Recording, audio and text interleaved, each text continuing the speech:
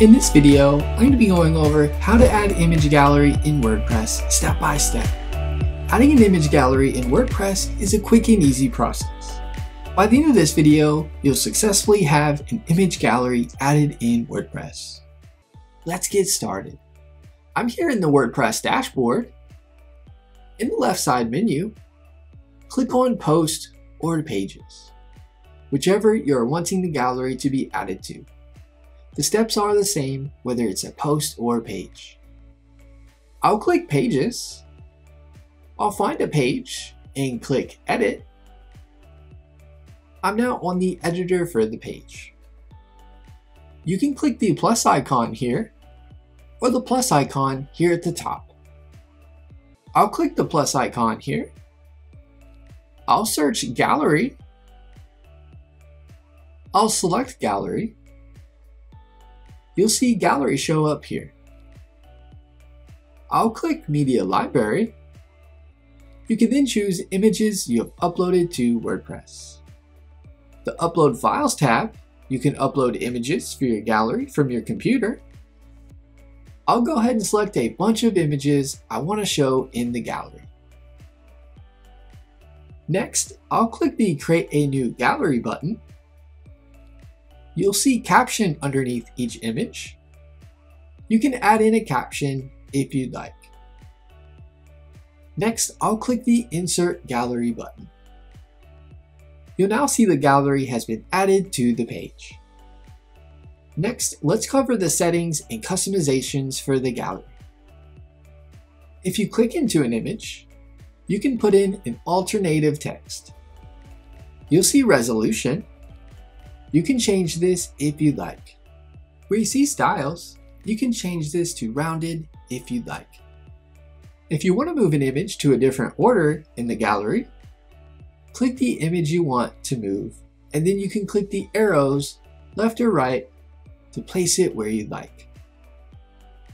If you click into any image in the gallery, then click the Select Gallery icon Next, if you click Add, you can add new images to the gallery. If you click the gallery icon, you'll see different types you can choose for the gallery. For example, if I click Tile Gallery, it'll change the look of the gallery. I'll click the Tile Gallery icon here. I'll go back to the gallery I was just on. Over to the right, you'll see columns. You can change this to however many columns you want for your gallery. You'll see link to. Click this, and from the dropdown, you can select None, Media, and Attachment. If you leave it to None, when you click an image on the gallery of your site, nothing will happen. Here's an example. I'll click the image, and nothing is pulled up.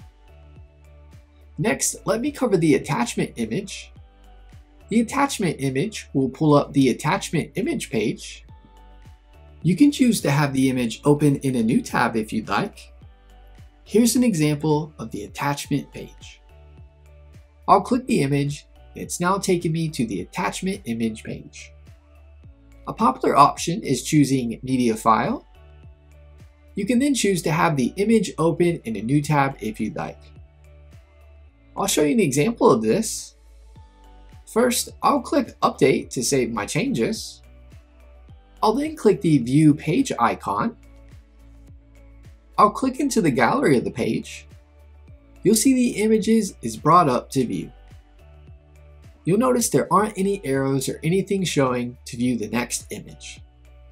Now let me show you how to do this.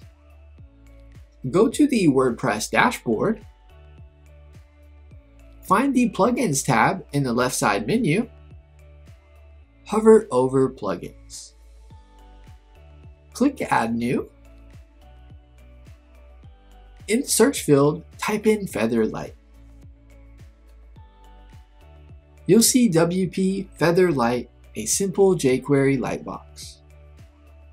Click the Install Now button.